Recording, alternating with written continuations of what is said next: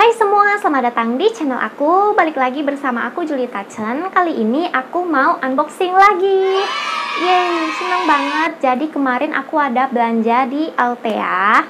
Dan satu minggu kemudian dia nyampe di rumahku Cepet banget, yaitu hari kemarin Sabtu. Dan uh, kabar baik buat kalian semua yang pengen order produk di Altea. Sekarang tuh udah bisa kirim ke Indonesia. Jadi kalian tinggal download aja aplikasinya di Play Store kalian atau di App Store kalian dan kalian tinggal ketik Altea. Nanti bakalan muncul aplikasinya tinggal kalian download. Dan kalian buat akun di sana dan kalian tinggal ikuti caranya aja. Sekarang kayaknya dia butuh uh, nomor KTP dan tanda tangan sesuai KTP kalian ikutin aja caranya dan nanti bakalan uh, diverifikasi dan kalian tinggal order deh produk-produk yang ada di Altea. Dan tanpa berlama-lama lagi, uh, mari kita mulai aja langsung. Tapi jangan lupa subscribe channel aku dulu, like video ini, dan jangan lupa komen di bawah juga dan share video ini ke seluruh teman-teman kalian semua. Dan langsung saja kita mulai unboxing.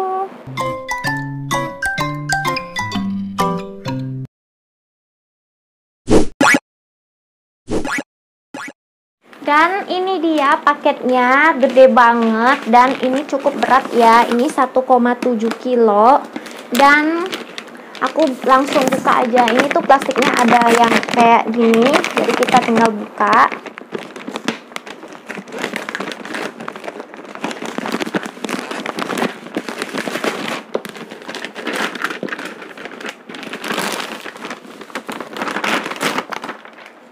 dia ada bubble wrapnya juga. Jadi paket kita tetap aman. Terus uh, ini kotaknya.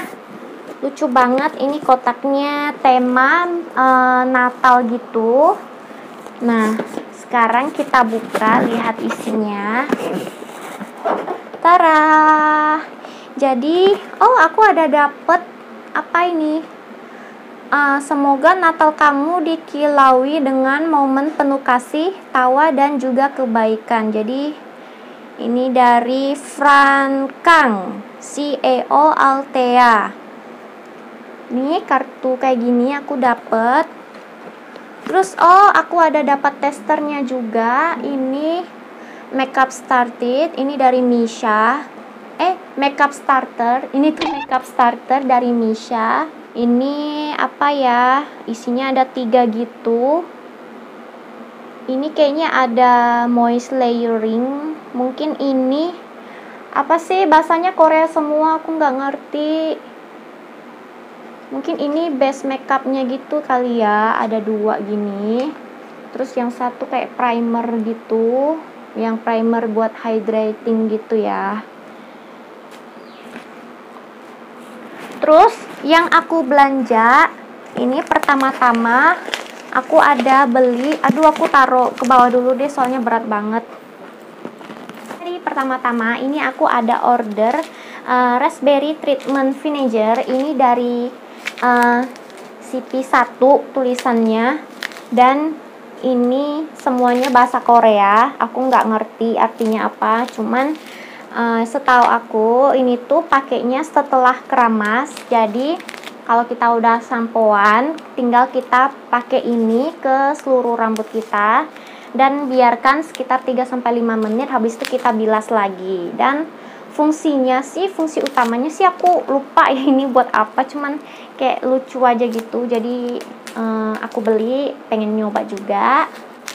Dan yang kedua ini aku ada order ini dari Plu Plu ini gimana sih bacanya? PLU P PLU atau Plu aku nggak ngerti ya karena uh, aku juga nggak pernah dengar mereknya. Jadi ini itu scrub wash. Ini raspberry mint. Ini buat membersihkan. Ini apa sih ya fungsinya ya? Ini buat body ya. Yang pun ini buat body.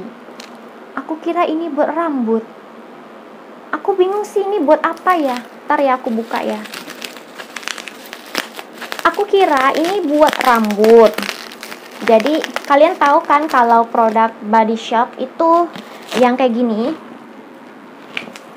Nah ini produk body shop ini sampo tapi dia ada uh, butiran-butiran scrubnya yaitu dari garam Nah ini tuh kalau misalnya kita sampoan pakai ini dia tuh bisa berbusa gitu dan ada butiran scrubnya yang dari garam itu yang bisa ngebantu bersihin uh, kulit kepala kita. Dan aku pikir ini juga sama kayak body shop, tapi ini ternyata dia vitaminnya di bagian yang tulisannya body. Ntar ya, aku buka dulu.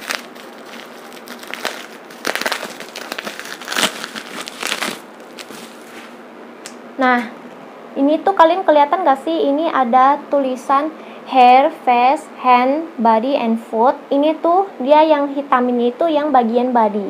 Jadi, jadi ini buat badan gitu ya?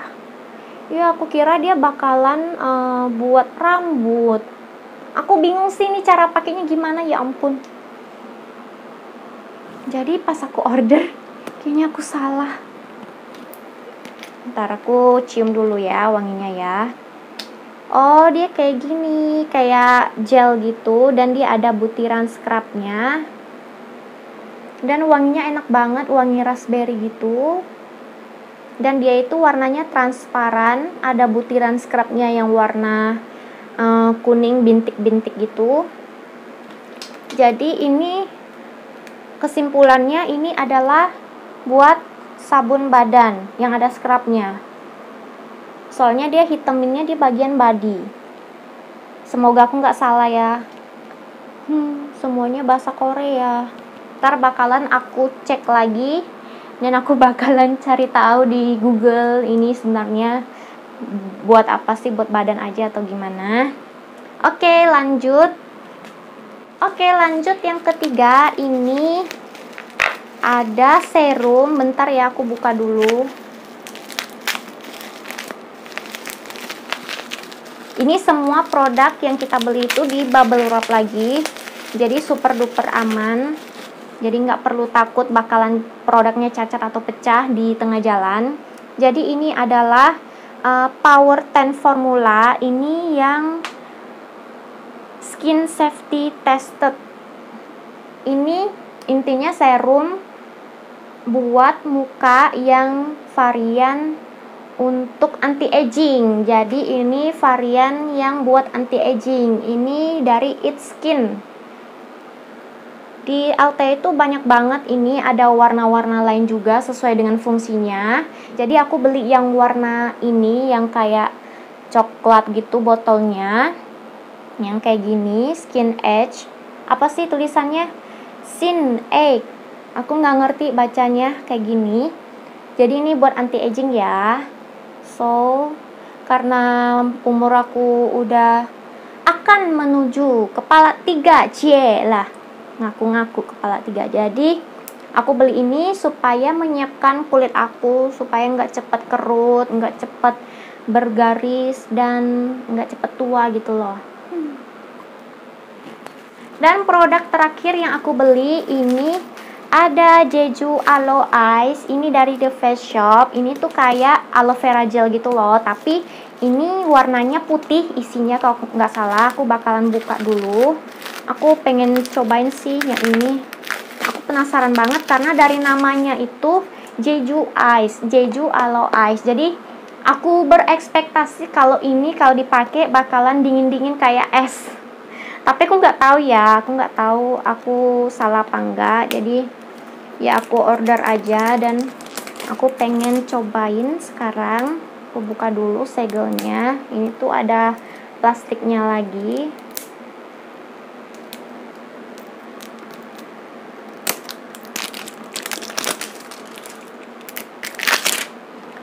Dan ini aku buka. Dia ada semacam penutupnya juga ini Nah, dia teksturnya kental banget. Wanginya enak banget, wanginya segar. Wanginya mirip-mirip aloe vera gel gitu.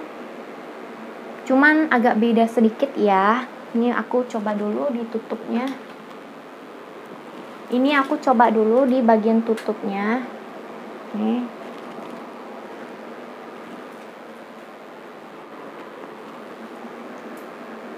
Dan uh, teksturnya dia itu kayak gel gitu tapi warnanya putih. Dan pas diaplikasiin dia itu teksturnya udah kayak air gitu. Kayak langsung nyerap jadi kayak air. Dan dia super duper berasa ringan banget. Dan wanginya ini bener-bener mirip sama aloe vera gel cuman dia ada kayak wangi kayak wangi jeruk nipisnya sedikit dan dia udah nyerap. Dia enggak lengket juga. Nah kayak gini. Kelihatan bedanya enggak sih? Kayaknya ini lebih cerah dikit ya yang aku aplikasiin. Tapi aku nggak tahu sih ini fungsinya buat apa. Bentar aku cek dulu. Oh iya benar, dia mengandung aloe vera ekstrak dari Jeju. Ini shooting gel ya. Uh, intinya mungkin dia sama fungsinya dengan aloe vera gel.